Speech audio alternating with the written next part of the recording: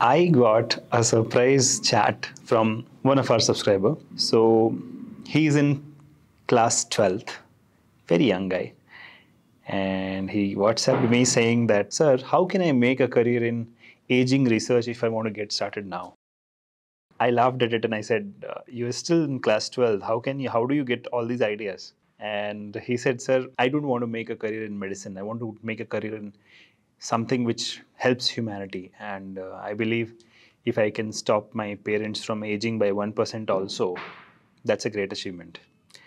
Well, that's something to be thought about. But that is where I said, okay, give me a day's time. I'll make a video on this and give you. So this video in is in response to that chat and of course for all of you who want to make a career in aging research. Now my apologies for the background cracker bursting because I'm making it just next day to Diwali which is a festival in India where people burst crackers out of happiness. Okay. So let's start with the first point here. If you are a 10 plus 2 student which is a you know um, prerequisite to make a career in research in biology. So of course you need to have a solid foundation of human biology. Why this is so important and even I have seen um, four or five people commenting under my videos earlier also that they want to make a career in aging research.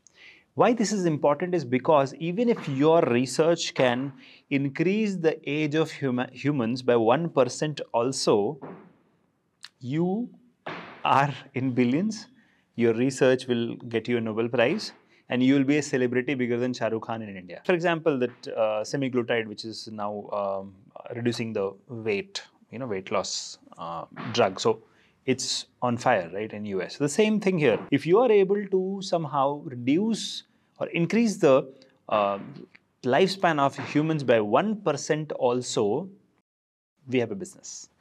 Well, how to get there? That's a question to be asked.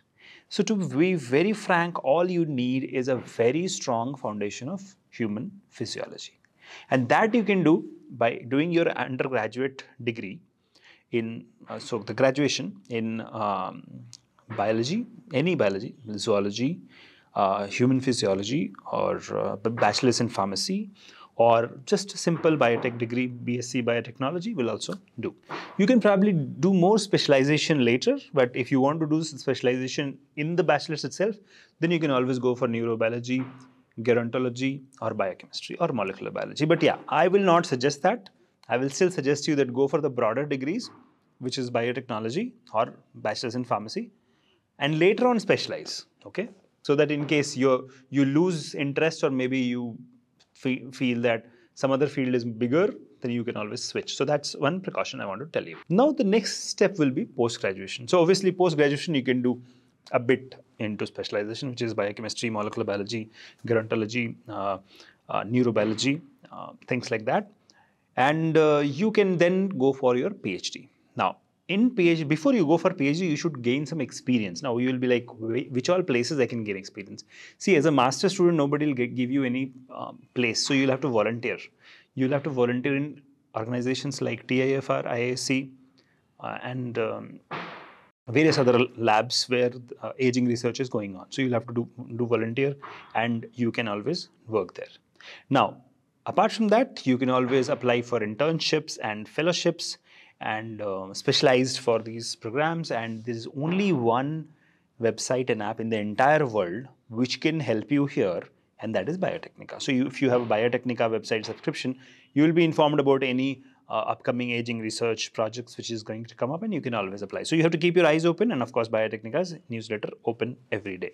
Now, the question to be asked is, okay, I have done that. Now what is the next? See, you apply and you expect people to give you a research project, that doesn't happen. You have to network, you have to reach out to people, you have to be in their LinkedIn profile, you know, interact with them on a daily basis, especially those who are in aging. So you can probably go to LinkedIn, search aging research, find out the professionals who are doing research on aging and follow them and look for what kind of uh, things you they're posting. Maybe they post some kind of uh, job vacancy, then you can you know double down on that so that's how you do it you can always join some professional organizations on gerontology um, there are various uh, organizations, you can Google it out, you can do that.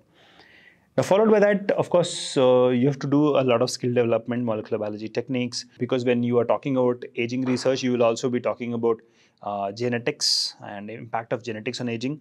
So uh, you will be also uh, supposed to you're also supposed to know the um, the genetic side of it. Even uh, if you have knowledge of coding and uh, bioinformatics, even that will be helpful. So these these are the broader sense things you should require.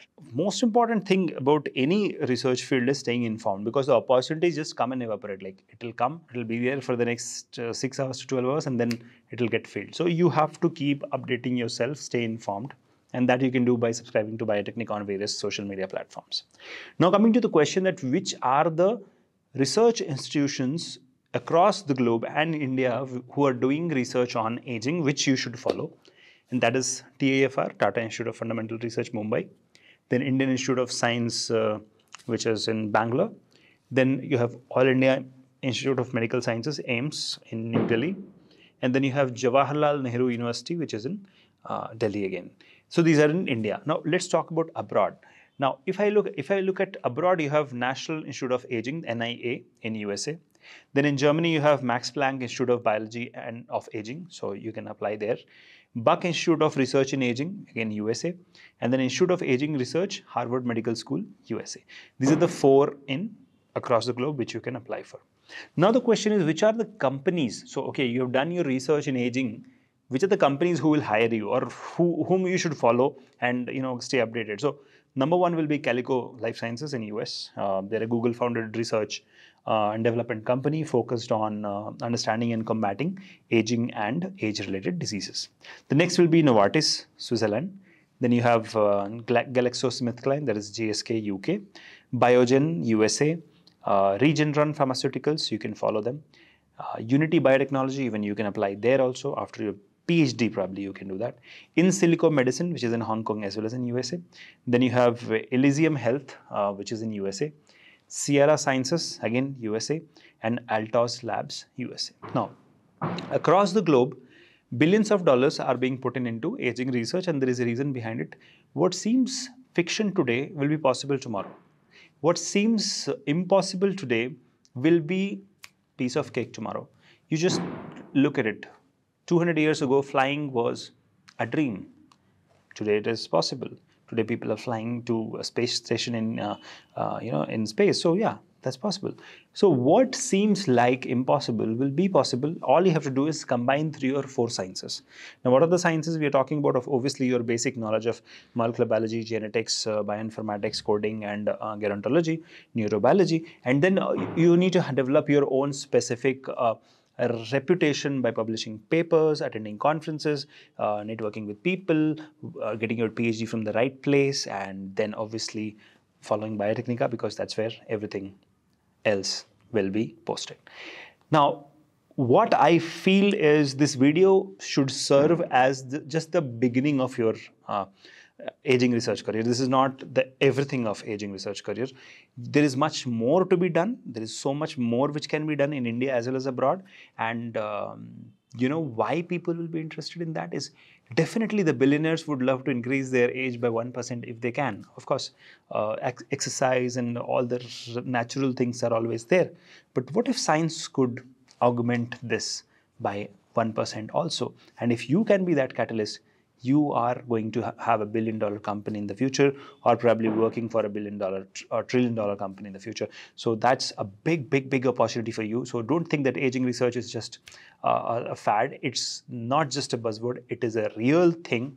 It's gonna be there everywhere tomorrow in the future. So all the best and uh, keep shining. You, if you have any questions or comments, you can put them down in the comment section or you can write to me at shaker at biotecnika.org. Keep shining. Take care. Bye-bye.